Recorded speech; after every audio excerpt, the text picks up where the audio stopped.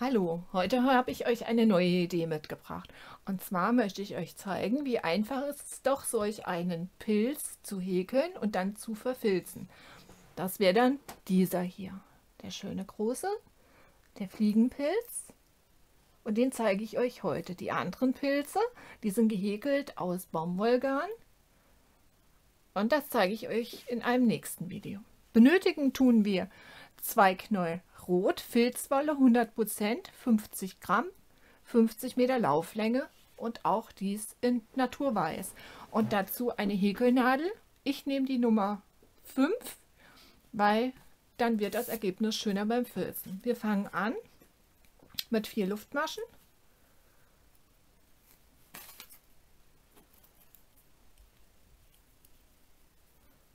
Eins, zwei, drei, vier und die schließen wir zu einem Ring. Dazu stechen wir in die erste, nehmen eine Schlaufe durch und ziehen die durch die hintere. Dann zwei Luftmaschen und in diesen Ring machen wir jetzt da feste Maschen. Eins, zwei, drei, vier, fünf, sechs, sieben, 8. Also vier Luftmaschen und 8 feste und schließen wieder. Wir nehmen eine Schlaufe hindurch und so. Wem das zu schnell geht, ich habe schon mal gezeigt, wie man einen Kreis häkelt. Ein extra Video, der kann ja da mal bitte reinschauen. So, jetzt die nächste Reihe bedeutet in jede feste Masche zwei feste Maschen. Immer zwei feste Maschen. Also es ist wirklich ganz einfach, den zu häkeln bis auf den Rand vom Fliegenpilzköpfchen werden wir nur feste Maschen benutzen. Und es gibt auch nur zwei Teile, die wir häkeln müssen. So, jetzt sind wir gleich wieder rum. So, dann schließen wir wieder. Wieder zwei Luftmaschen und jetzt einmal eine feste und in die nächste wieder zwei.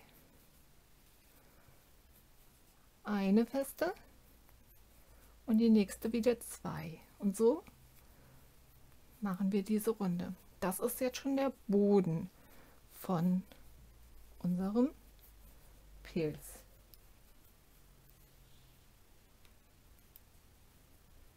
Wieder zwei. eine, zwei und eine, zwei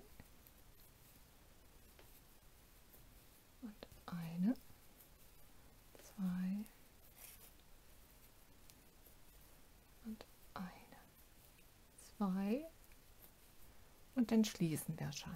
Das ist jetzt der Boden. So, und jetzt machen wir zwei Luftmaschen und häkeln die festen Maschen, die sie kommen, das heißt in jede feste Masche nur eine und schließen dann die Reihe und dann machen wir elf Reihen hier über den Boden. Immer die Maschen, wie sie kommen.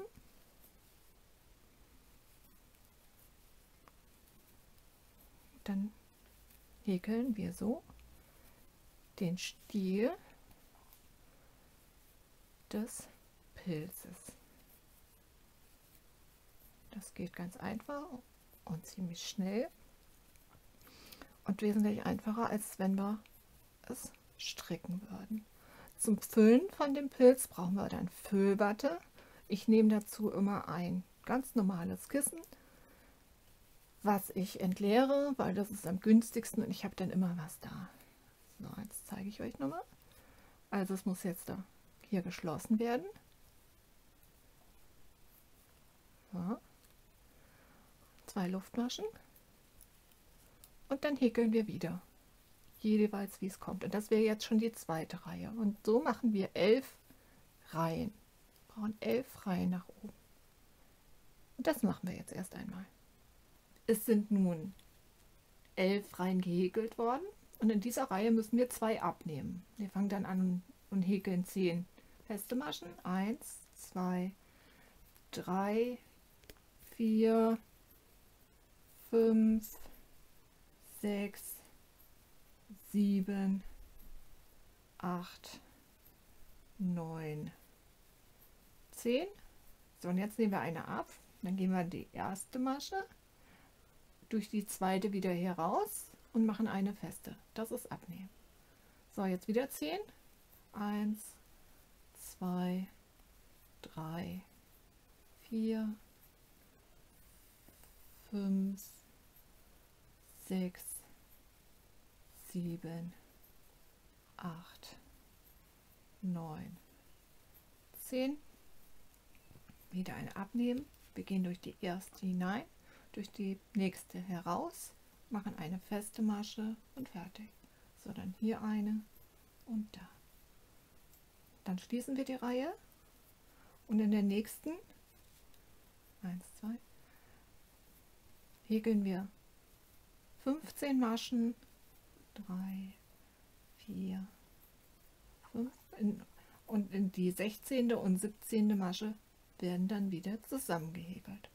Und auf diese Reihe dann noch eine Reihe mit festen Maschen ohne abzune abzunehmen. Und dann zeige ich euch, wie es mit der Unterseite vom Pilz weitergeht. So, wir haben nun unseren Stiel soweit fertig gehäkelt mit den Reihen. Wir machen jetzt zwei Luftmaschen und jetzt ist es wichtig, den Stiel haben wir von außen gehäkelt, aber die Unterseite müssen wir von innen häkeln, damit wir eine Falte bekommen, damit sich das schön abknickt. Und das bedeutet herumdrehen und von innen häkeln. Und dazu brauchen wir in die erste Masche eine feste und in die zweite Masche zwei feste, weil wir jetzt zunehmen müssen. Und das geht jetzt die ganze Reihe so eine feste, in die nächste wieder zwei. Immer abwechselnd, damit wir die Weite bekommen.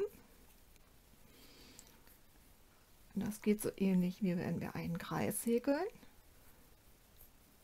In jeder Reihe muss zugenommen werden. Das muss ja wie ein Röckchen oder ein Schößchen werden, damit wir Volumen bekommen. Ja, die erste, der erste Wollknäuel ist jetzt auch gleich schon abgehäkelt. Wir verknoten dann einfach nur den zweiten daran und brauchen auch gar nicht zu vernähen, weil durch das Filzen verfilzt sich die Wolle dermaßen, dass das Vernähen unnötig ist. So, jetzt haben wir gleich die erste Reihe beendet. Wie gesagt, das wird jetzt nur von innen gehäkelt. So, noch zwei. Eins, zwei. Und die Reihe schließen. So, wieder zwei Luftmaschen. Und jetzt brauchen wir drei feste. Eins, zwei, 3 und in die vierte werden zwei eingehäkelt. 1, 2, 3 und in die vierte werden zwei eingehäkelt. In der nächsten Reihe, in der vierten Reihe ist es so, dass wir sechs Maschen häkeln und in die siebte zwei Stück. Und das machen wir jetzt erst einmal. Soweit sind wir nun. Ihr seht, wie sich die Unterseite vom Pilz entwickelt. Jetzt nehmen wir wieder zwei Luftmaschen und müssen noch eine Reihe machen. Und zwar nehmen wir diesmal vier feste Maschen und in die fünfte zwei. Dann wieder vier, eins, zwei, drei, vier und die fünfte zwei. Und daraufhin müssen wir dann noch eine Reihe häkeln. Das wäre dann die letzte und dann geht es wieder sechs Maschen feste häkeln und in die siebte zwei. Ich zeige nochmal gerade, das Knäuel ist jetzt zu Ende. Das nächste würden wir einfach dran knoten. Wir legen sie aufeinander, machen eine Schleife und ziehen es durch. Das ist alles. Und schön festziehen. Und so häkeln wir weiter. Und wenn der Knoten dran ist, bitte nach innen legen. Und das ist alles. So, und das machen wir jetzt erst einmal, dass wir das helle Teil dann fertig haben. Und dann zeige ich euch, wie wir die rote Kappe häkeln. Die Unterseite vom Pilz haben wir jetzt fertig gehäkelt. Ich zeige euch nur gerade, wie wir es abketten. Wir schneiden den Faden etwas großzügig ab und ziehen ihn einfach durch unsere Masche durch. So, und lassen ihn hängen. Das ist alles. So, das müssen wir dann befüllen mit Füllwatte, aber das machen wir zum Schluss. So, jetzt zeige ich euch nur gerade, weil ich die helle Wolle da habe, wie unsere Punkte gehen. Wir machen zwei Luftmaschen, eins, zwei und machen in die erste eine feste Masche. So, schneiden es etwas großzügig ab und ziehen den Faden da durch.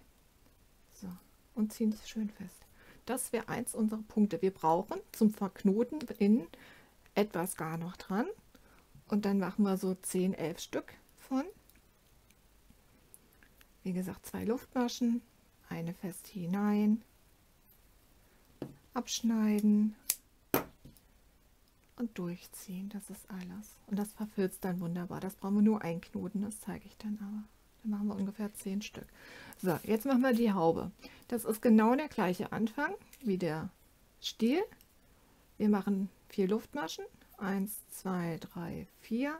Wir schließen es zum Ring.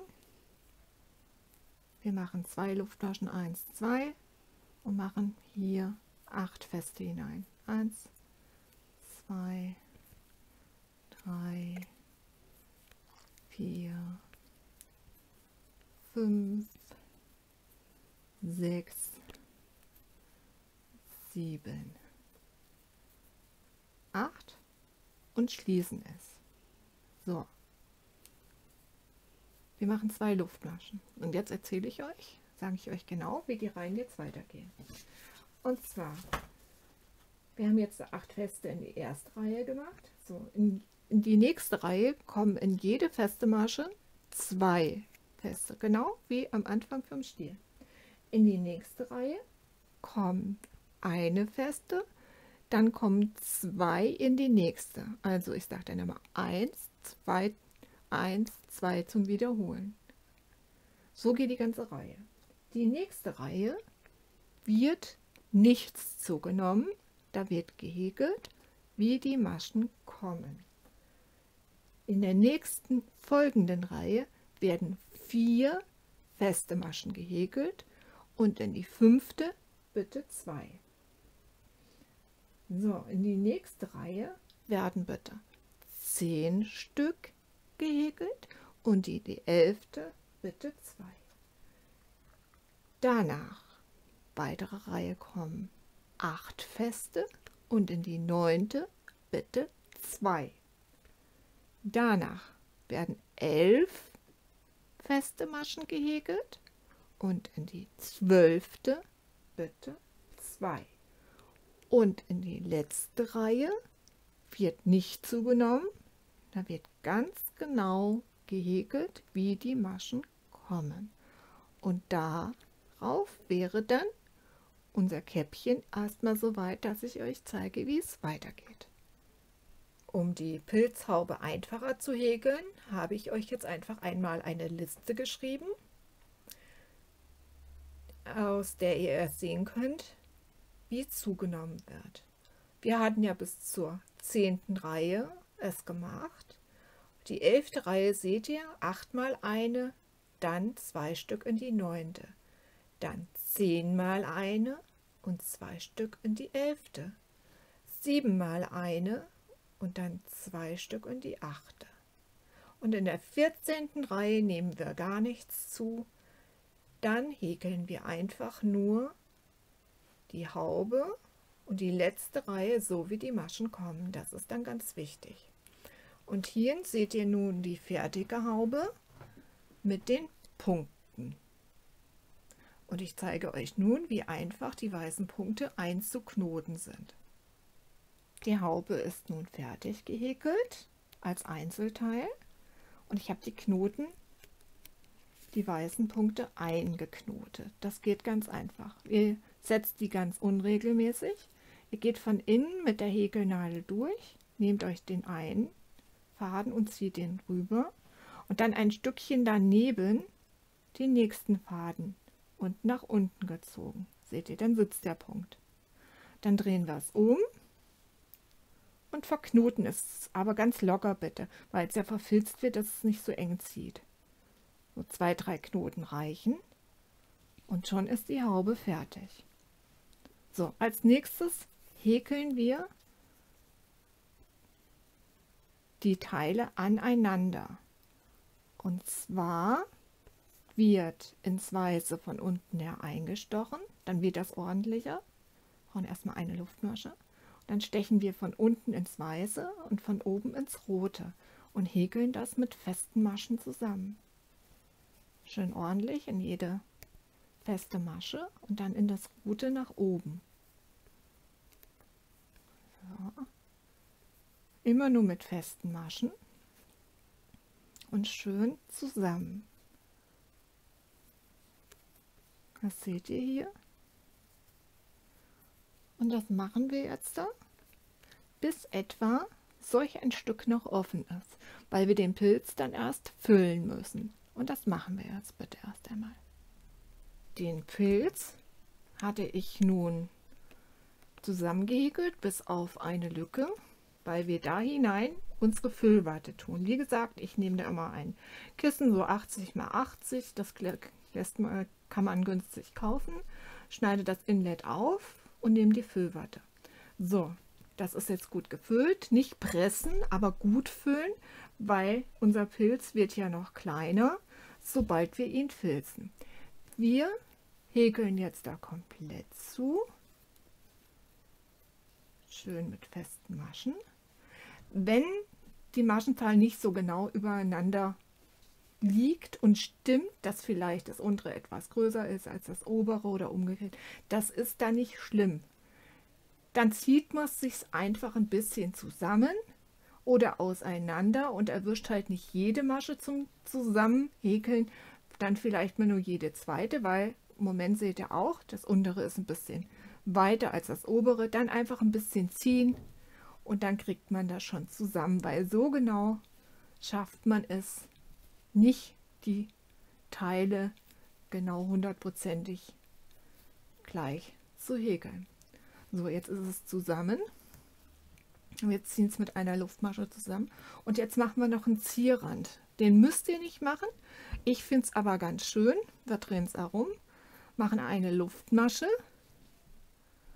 und dann zwei, drei, vier Luftmaschen. Jetzt gezählt eins, zwei und die dritte hinein. Vier Luftmaschen, eins, zwei, drei, vier. Eins, zwei, drei und in die dritte hinein.